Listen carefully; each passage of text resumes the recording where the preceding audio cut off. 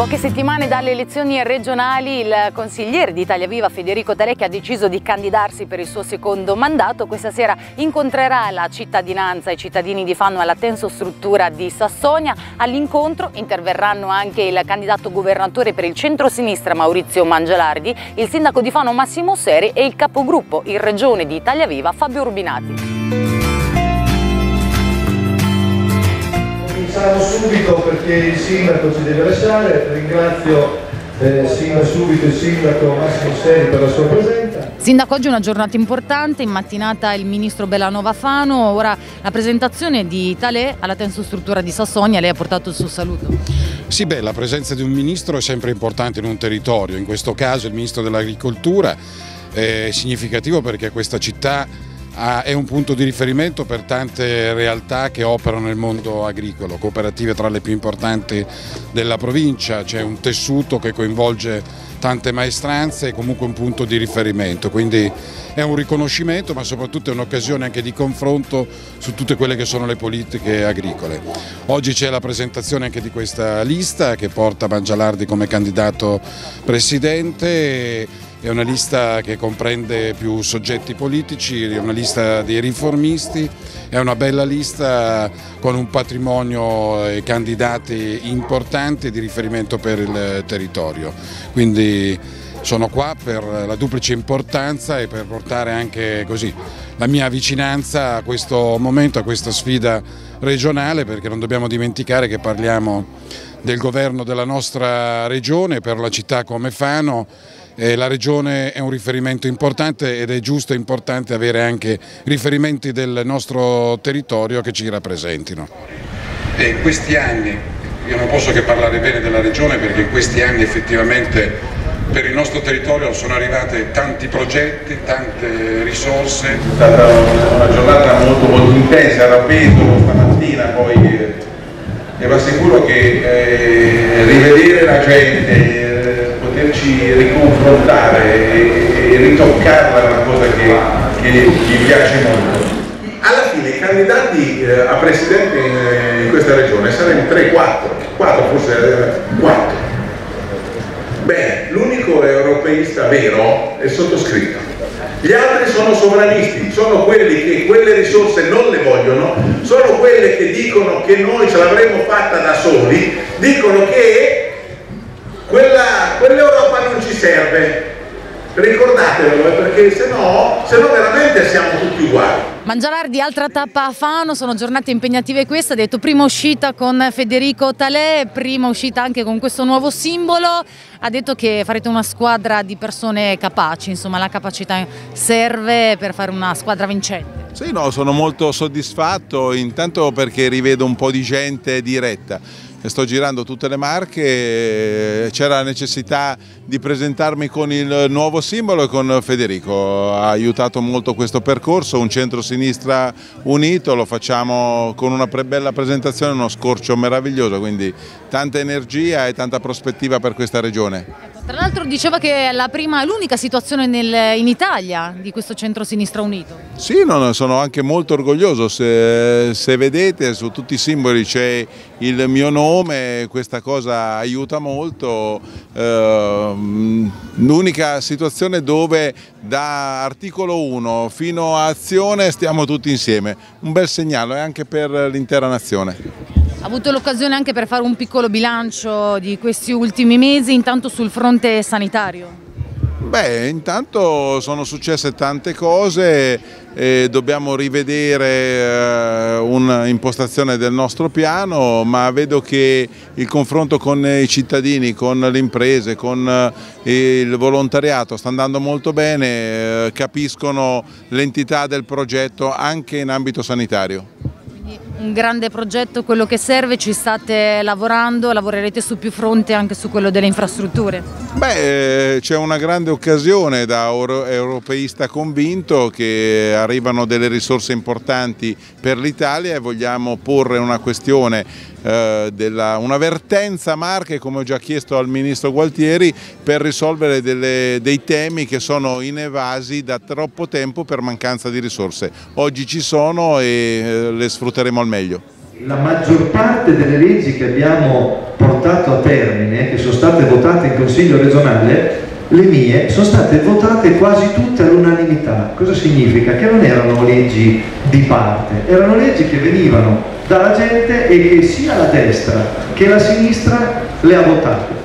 Tale è una giornata che è iniziata presto questa mattina, intanto con il ministro Belanova che per impegni istituzionali non ha potuto partecipare, però insomma eh, ci teneva ad essere presente. Sì, ci teneva tanto ad essere presente, purtroppo è dovuta scappare via per questa riunione propedeutica al Consiglio dei Ministri che ci sarà probabilmente giovedì proprio per il decreto agosto. È stata l'occasione questa per fare un po' anche un bilancio del suo lavoro di questi ultimi cinque anni, cinque anni eh, di passione, ha detto lei, una passione che è nata all'età di 18 18 anni. Sì, a 18 anni, infatti come dicevo questa mattina dico, oddio, a Fano come comincio? Comincio come, come ho iniziato da piccolo, a 18 anni eh, mi ricordo che ero abbastanza, cioè non ero contento delle cose, delle strutture che c'erano al mio paese dove, dove, sono nato, a Mondavio e quindi non c'era una pista polivalente dove poter giocare, dare due calci a un pallone, ma eravamo costretti a giocare nel fossato della Rocca come nel 1500 e allora mi candidai, giovane, diciottenne.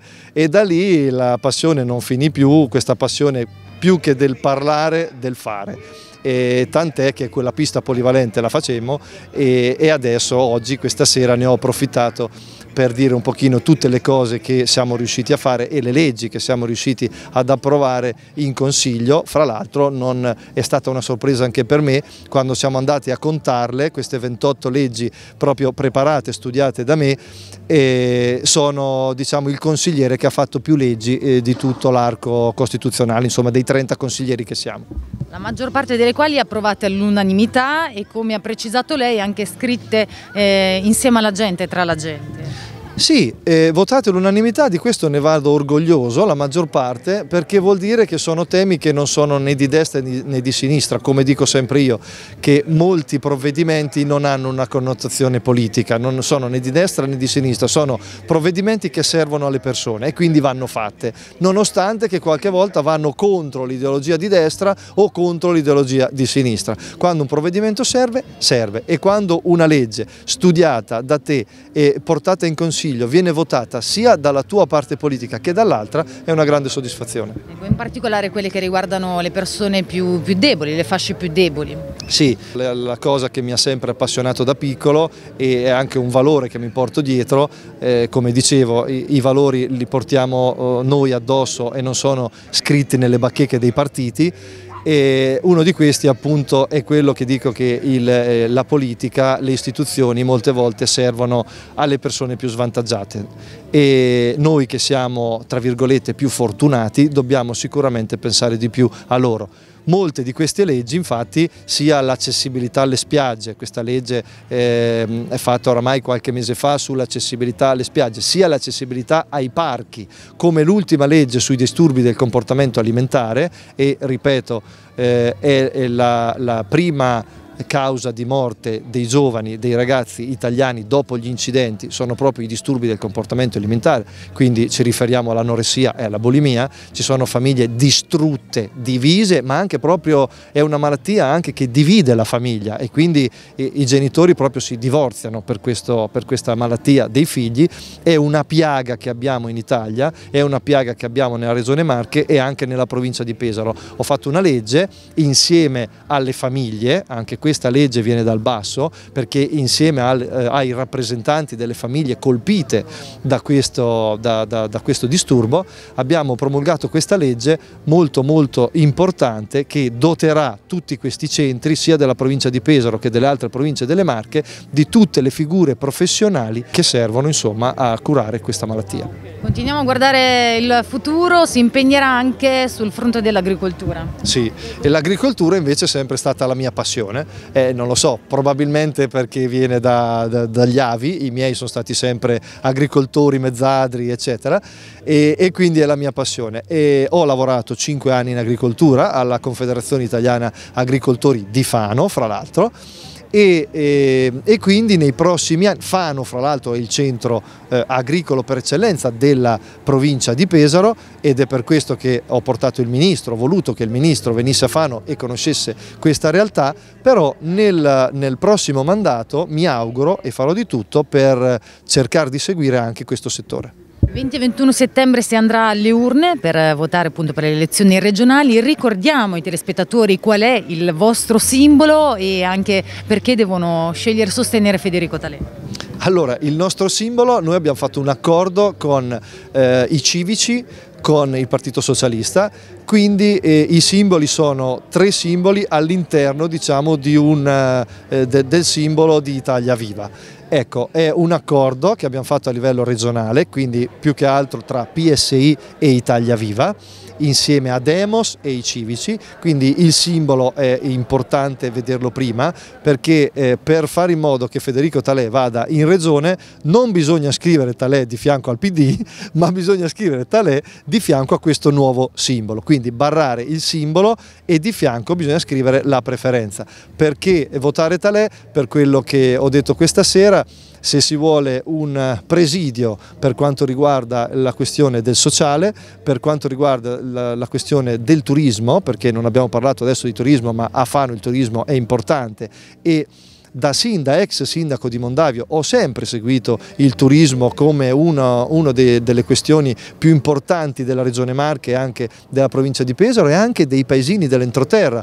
Eh, Mondavio con, quando facevo il sindaco è diventato borghi più belli d'Italia, ha preso la bandiera arancione, la blu non sono riuscito a farla prendere perché non abbiamo il mare, però ecco, ci siamo spinti al massimo per cercare di portare gente e per cercare di creare turismo. Quindi insomma quello che diceva lei serve anche competenza in questo caso perché non ci si improvvisa politici. No, non ci si improvvisa politici, mi raccomando, questa, come, come in qualsiasi altro lavoro ci vogliono le competenze, anche per far politica ci vogliono le competenze e penso che in tutti questi anni non è vero che bisogna votare chi non fa politica da tanto tempo, perché anche questo è un luogo comune, no? Ah, ci ha stancato, è troppo tempo che fa politica. No, non è così. Bisogna vedere che tipo di politica ha portato avanti fino adesso, perché uno che fa politica da tanti anni, ma che comunque è apprezzato dalle persone perché è vicino alle persone, eh, penso che debba continuare a fare politica.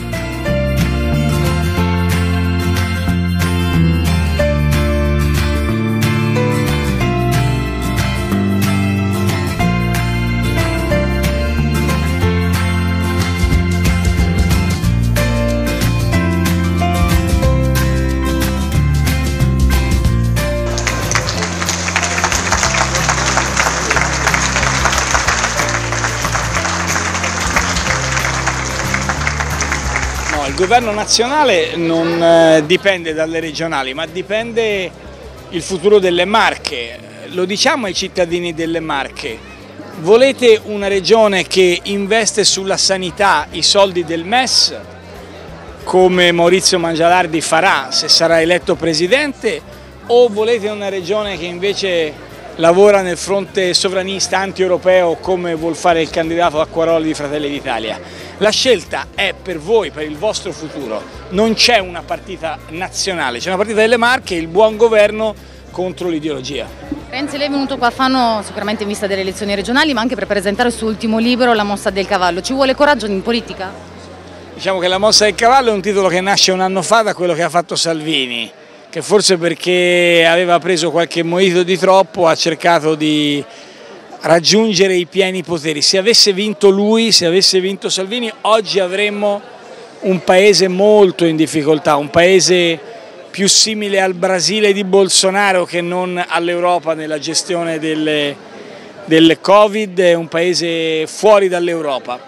Eh, oggi la vera sfida è quella di riportare passione per la politica contro il populismo e in questo la sfida delle Marche è precisa, precisa la sfida più importante, perché? Perché tu hai da un lato chi governa con la forza delle idee, chi ha fatto il sindaco, chi conosce l'amministrazione e dall'altro c'hai una coalizione guidata da Fratelli d'Italia che a Roma con la Meloni urla tutti i giorni per, eh, contro l'Europa, contro il MES, contro i denari di chi invece dall'Europa ci ha salvato in questa situazione. Quindi la sfida è nelle Marche, la prossima mossa del cavallo è nelle Marche. La mossa del cavallo l'anno scorso era in Emilia Romagna al Papete, adesso scendiamo giù.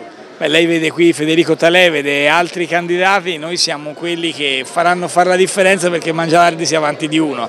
Il risultato è che noi saremo decisivi. Grazie, grazie mille. Lo aveva annunciato Federico Talè e Matteo Renzi ha mantenuto la promessa. Siamo tornati alla tensostruttura di Sassonia Fano per l'incontro pubblico con il senatore fondatore di Italia Viva che per l'occasione presenterà anche il suo ultimo libro. La, la prima mossa del cavallo no? di cui parli anche nel libro, è questo aver ribaltato il tavolo e dire no, invece di andare a votare facciamo un governo con il Movimento 5 Stelle spiazzante perché Matteo Renzi è sempre stato quello assolutamente contrario. Ho visto i capelli bianchi che mi sono venuti. Allora, a un anno ce ne siamo un po' pentiti visto che i 5 Stelle sui te temi del lavoro, dell'economia sono un po' ancora ostici, sono barbarizzati a metà o comunque ne è valsa la pena? Allora, poi mi piacerebbe chiederlo a voi. Un anno fa, più che la mossa del cavallo di Renzi, abbiamo celebrato la mossa del ciuco di Salvini. Perché, diciamo la verità, ha fatto tutto da solo. L'Adriatico è meraviglioso, quello più a nord evidentemente picchiava un po' di più in quei giorni il sole, perché chiedere i pieni poteri significava da parte di Salvini volere un modello istituzionale in cui lui decideva tutto. E quando Emilia dico tutto, dico Presidente del Consiglio Salvini, Vicepresidente Meloni, Presidente della Repubblica un sovranista anti-euro.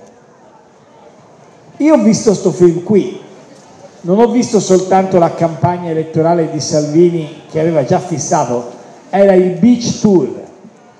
Avrebbe fatto una campagna elettorale per le spiagge in mutande a suon di Moito, ci avrebbero riso dietro in tutto il mondo. Buonasera a tutti, intanto Matteo grazie, grazie veramente di cuore perché eh,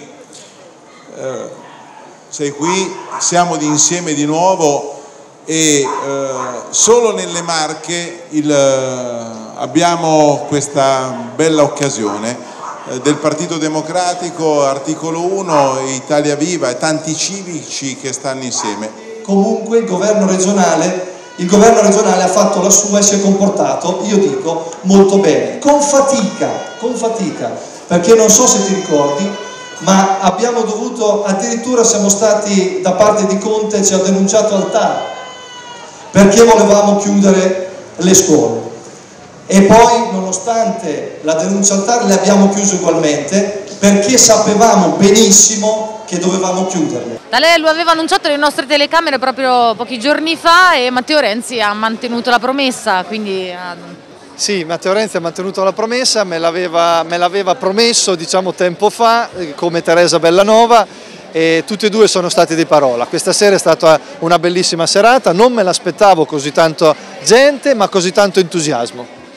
Renzi ha colto l'occasione di presentare anche il, il, suo libro, il suo ultimo libro, La mossa del cavallo, anche lei ha parlato di coraggio di far politica. Sì, infatti La mossa del cavallo è un libro che ho letto subito perché mi avevano già preannunciato che c'erano dei temi che mi interessavano molto. Il motivo per cui io ho cambiato partito è proprio per questo, perché ero stanco di stare in un partito dove non si potevano fare determinate mosse o determinate leggi in regione perché si disturbava qualcuno, non se ne potevano fare altre, si disturbava qualcun altro, quindi questo coraggio delle scelte. E infatti nel suo libro, come ho detto prima, a pagina 44 del libro di Renzi, c'è proprio un capitolo intero dove dice che per far politica ci vuole coraggio e quindi in Italia Viva questo coraggio l'ho trovato. Un altro tema importante, e ho detto prima, lo si legge già dalla copertina del libro, è quello appunto del patto tra generazioni. È importantissimo. Con questo Covid abbiamo capito e, e soprattutto io sono rimasto male dal punto di vista morale quando sentivo dire sì, è successo, ma è un anziano, aveva 70 anni. E allora ho fatto l'esempio. Mio padre non ha 70 anni, ne ha 81, ma va tre volte alla settimana in bicicletta da corsa e fa 50 km. Non solo, mio padre fa il nonno e tiene i figli di mio fratello che è più piccolo, quindi c'è figli più, più piccoli e quindi dà una grossa mano alle giovani generazioni. Ho detto giovani generazioni a cui non serve il reddito di cittadinanza ma serve un lavoro. Questo è scritto e stampato anche nel libro di Renzi. Mancano poche settimane alle elezioni, il mio appello è questo, cerchiamo di votare la gente che conosciamo, cerchiamo di votare e guardare anche la competenza di chi andiamo a votare, non votiamo per partito preso, non stiamo a guardare soltanto i sondaggi o il partito a Roma, guardiamo anche quello che un candidato, ad esempio un candidato come me uscente, ha fatto in questi cinque anni. I miei temi, l'ho sempre detto quali sono, sono quelli del sociale, sono quelli dell'impresa, sono quelli e quindi dell'agricoltura e del turismo. Questi sono i quattro temi a cui mi dedico di più, mi sono sempre dedicato di più. Naturalmente il tema dei temi quest'anno è in campagna elettorale, ma perché sarà un tema eh, sicuramente per tutto il prossimo mandato fondamentale, è quello della sanità. Dovremo fare grandi riforme per quanto riguarda la sanità, queste grandi riforme, fra l'altro questa sera ne parlerò proprio con Matteo, perché una delle emergenze più grandi, una delle riforme più grandi sarà quella di modificare il decreto 70, il Balduzzi. Abbiamo come dire, depauperato il territorio della sanità territoriale, dobbiamo reinserirla.